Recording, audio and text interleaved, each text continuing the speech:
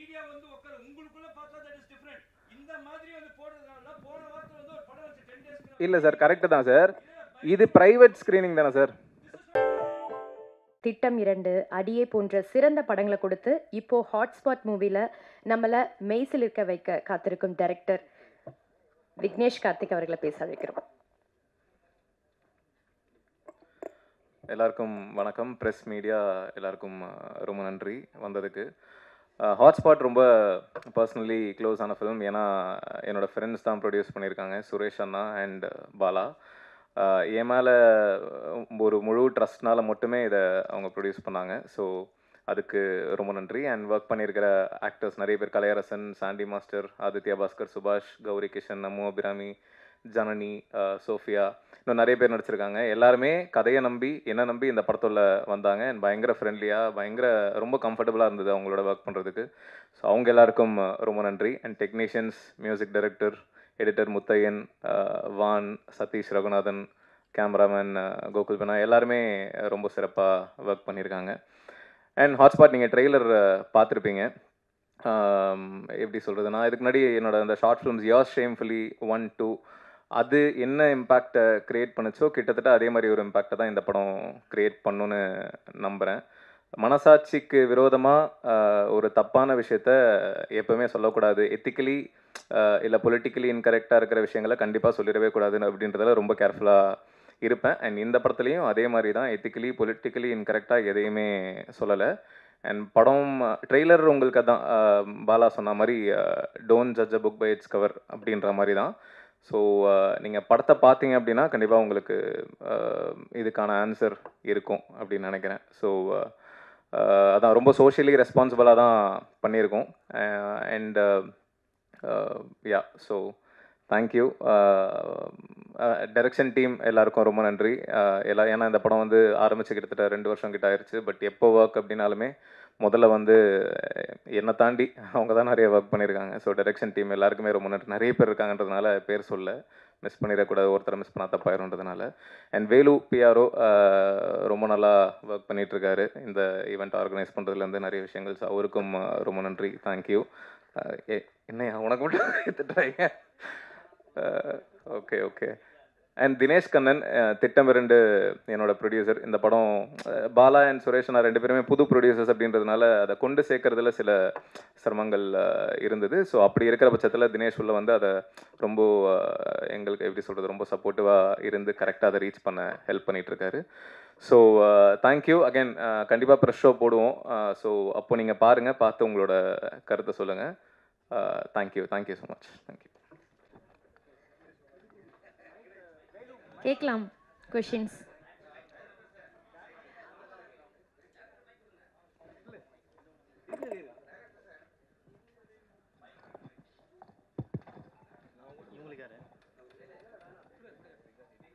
Director ஆக்சுவலாக ட்ரைலரில் ஒன்று சொல்கிறீங்க இந்த சாண்டி மாஸ்டர் ஸ்டோரி ஒன்று சொல்லியிருக்கீங்க சொல்லுங்கள் சார் ட்ரைலரில் ஒன்று காமிச்சிருக்கீங்க. படம் பார்த்தா தான் ஃபுல்லாக புரியும். பட் இருந்தாலும் அந்த இடத்துல அந்த டைலாக் வச்சுருக்கீங்க. அதாவது குரங்குங்க வந்து ரிலேஷன்ஷிப் ம்.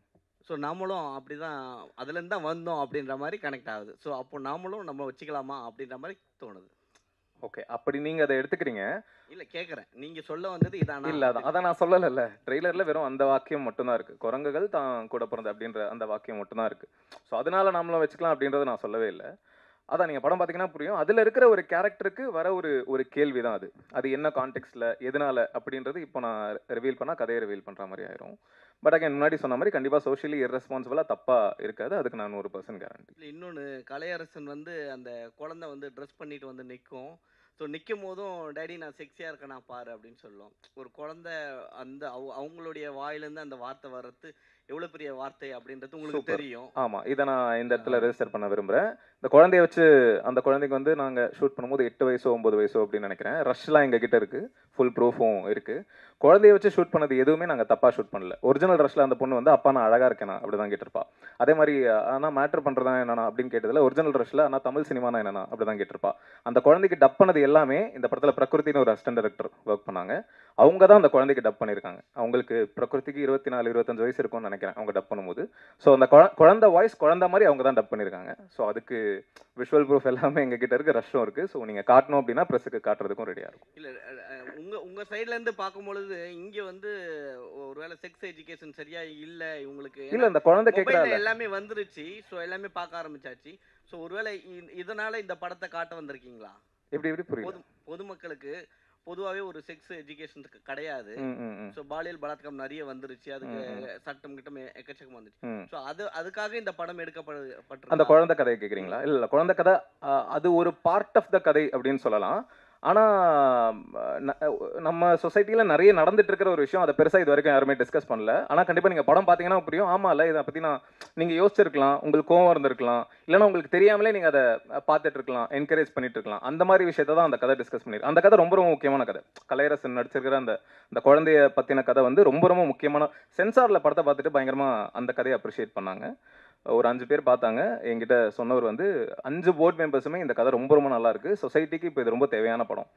அதுக்கு நான் உங்களை அப்ரிஷியேட் பண்ணுறேன் அப்படின்னு சொன்னாங்க.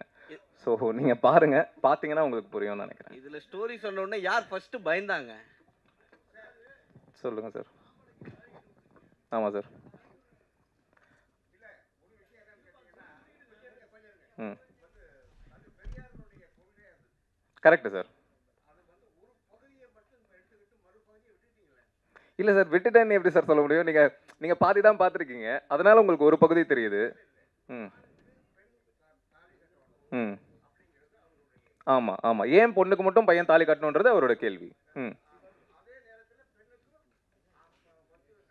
ம் ம். ம். ம் ம் ம் ம். அதான் சார் ட்ரெய்லரில் நான் ஒரு பகுதி காமிச்சிருக்கேன். அப்போ நான் ஃபுல் படத்தையே ட்ரெய்லரில் காமிச்சுன்னா படத்தில் என்ன சார் பார்க்குறது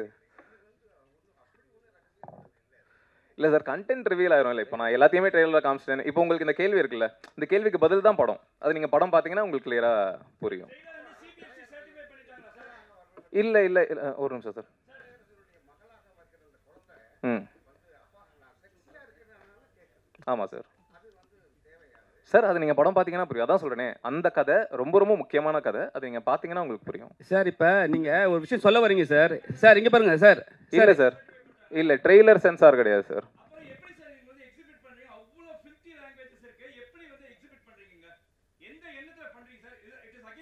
இல்லை சார் இது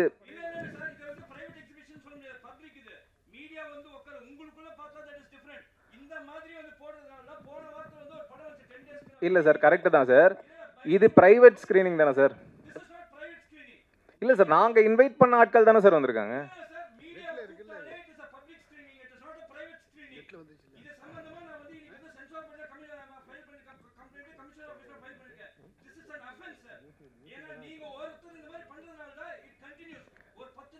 இல்லை சார் அதான் சொல்கிறேன் சார் நீங்கள் படம் பார்த்தீங்கன்னா உங்களுக்கு புரியும்.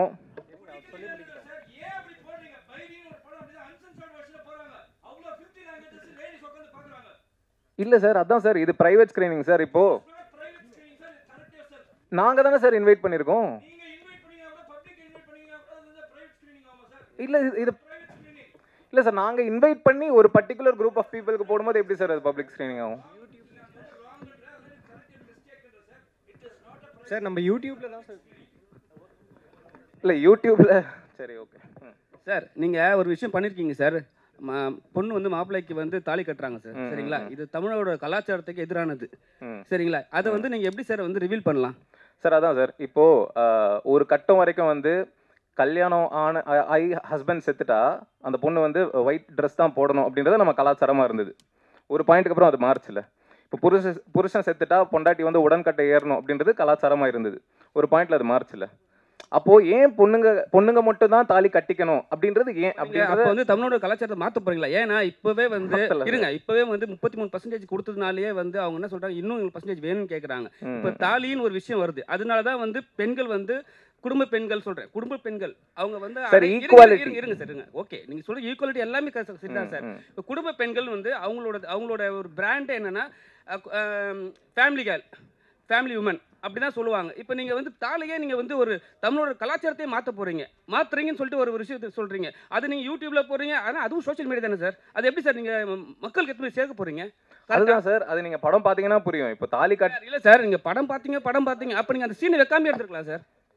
இல்ல சார் அது வைக்க கூடாதுன்னு நீங்க எப்படி சார் சொல்ல முடியும்? ஏன் சொல்ல வரேன்னா இப்போ இப்போ இப்போ வந்து ஏ சரி கொடுத்துருக்காங்க. இல்ல சார் இப்போ இல்ல சார், காலங்காலமா ஒரு நிமிஷம் சார், ஏ ஏ கொடுத்துருக்காங்க. சரிங்களா. ஏ எது கொடுக்குறாங்கன்னா எயிட்டீன் இயர்ஸ் மேலே வந்து பார்க்கக்கூடாதுன்ட்டு. நீங்க வந்து யூடியூப்லயே வந்து அதை வந்து நீங்க போட்டீங்க. யூடியூப்ல வந்து பத்து வயசு பசங்க பாக்குறாங்க மூணு வயசு பசங்களும் பாக்குறாங்க சோ வந்து அப்பவே வந்து கெட்டு போயிட்டுல சார் இல்ல சார் யூடியூப்ல அப்படி அப்படி பாத்தீங்கன்னா இன்னும் பேடான கண்டென்ட்லாம் இருக்கே சார். அப்போ எப்போ ஒரு குழந்தை கைக்கு ஃபோன் போதோ ஒரு பதினெட்டு வயசுக்கு கீழே இருக்கிற ஒரு பர்சன் கிட்ட ஃபோன் போதோ அப்போவே அவங்க they are prone to every திங்கில் அவங்க ஃபோன் எடுத்தாலே பான் ஃபிலிம் கூட பார்க்க முடியும் சார் அப்போ நீங்கள் இதை மட்டும் அவங்க பார்த்து கேட்டு போவாங்கன்னு எப்படி சார் சொல்ல முடியும்? சரி அப்போ ஓப்பனாகவே வந்து மேட்ரு பண்ணலாமா? மேட்ரு பண்ணுறியா சரிங்களா? அப்புறம் வந்து எடுத்த உடனே வல்கர் வார்த்தை.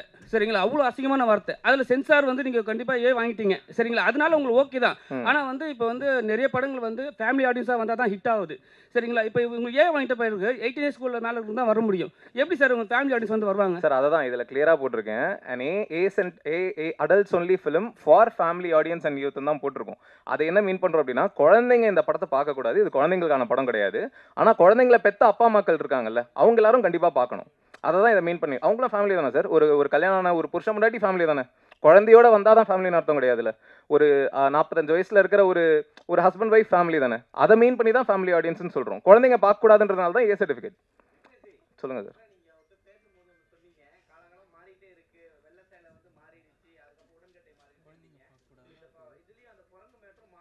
ஆ அப்படி நான் சொல்லலை. அதுதான். அது வேற இது வேற.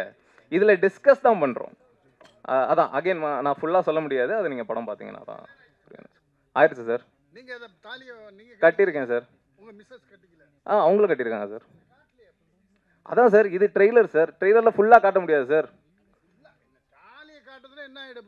இல்லை சார் என்ன காட்டணும் காட்டக்கூடாதுன்றது நாங்கள் டிசைட் பண்ணுறது தானே சார் ட்ரெய்லரில் ஃபுல் படத்தை காமிச்சிட்டேன் அப்படின்னா படத்தில் என்ன சார் இருக்கும்? இல்லை சார் அது புரியுது. நீங்கள் படம் பார்த்தீங்கன்னா புரியும். தேங்க்யூ அகைன் முன்னாடி சொன்ன மாதிரி நீங்கள் படம் பார்த்தீங்கன்னா கண்டிப்பாக உங்க இல்லை சார் உங்கள் கேள்விகள் புரியுது சார். ஆனால் அதுக்கு பதில் படம் தான் சார். நான் பதில் சொல்கிறத விட படம் நீங்கள் படம் பார்த்தீங்கன்னா தான் உங்களுக்கு அது புரியும். ஸோ என்ன சொல்கிறதுன்னு தெரில thank you Kalaiyarasan sir. Thank you Kalaiyarasan உங்களுக்கு தான் நீங்கள் சொன்னீங்க என் போர்ஷன் தான் பார்த்தேன்ட்டு. ஏன்னா இப்போ வந்து ஒரு ஒரு நல்ல வளர்ந்து வர ஆக்டர் நீங்கள் இப்போ வந்து இது மாதிரி ஒரு கண்டென்ட் வந்து டேரக்டர் உங்ககிட்ட சொல்லுவாங்க. சொன்ன உடனே சில பேர் வந்து ஹீரோயினே சொன்னாங்க ஃபஸ்ட்டு நான் வந்து கதை கேட்டேன் எனக்கு பிடிக்கல அதுக்கப்புறம் ரெண்டாவது சொல்ல சொல்லி ஓகே பண்ணுன்னு சொன்னாங்க. இப்போ நீங்கள் வந்து உங்கள் சப்ஜெக்ட் தான் மட்டும் தான் பார்த்துருக்கீங்க. இப்போ வந்து கலையரசனுக்கு ஒரு பேர் இருக்குது சரிங்களா? இது மாதிரி சப்ஜெக்ட்டில் வந்து அவர் கலையரசன் உள்ளே வரும்போது அடுத்தடுத்த கட்டத்தில் வந்து உங்களை வந்து இது மாதிரி ஸ்டோரியிலேயே வந்து வந்து கூப்பிடுறாங்களே தவிர அடுத்த கட்டத்துக்கு நீங்கள் மேலே ஏற முடியுமா?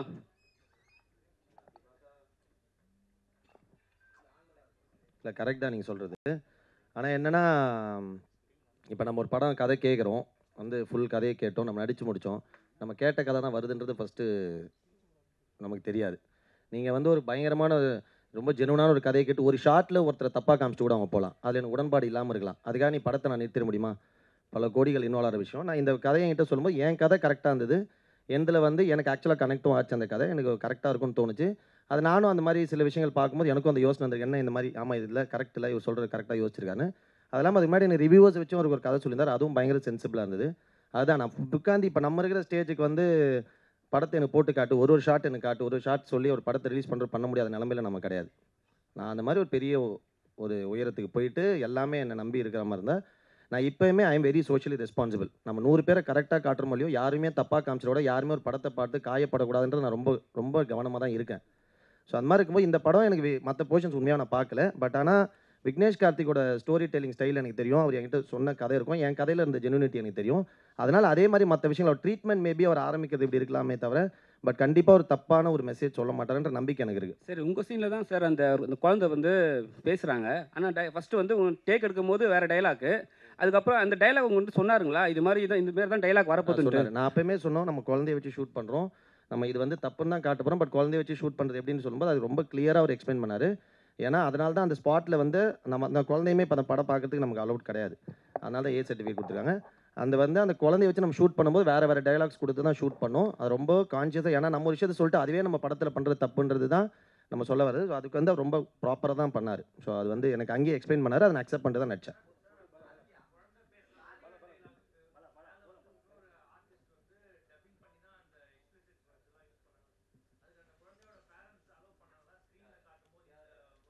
இல்லை அங்கே நம்ம சொல்லவே இல்லை. அவங்ககிட்ட நம்ம இதுதான் வரப்போகுதுன்னு சொல்லிட்டு. அவங்ககிட்ட வந்து நம்ம இதை நீங்கள் பேரண்ட்ஸுக்கு தெரியும் பட் ஆனால் அங்கே வந்து குழந்தைக்கு தெரியாதுன்னு நான் சொல்கிறேன் ம்.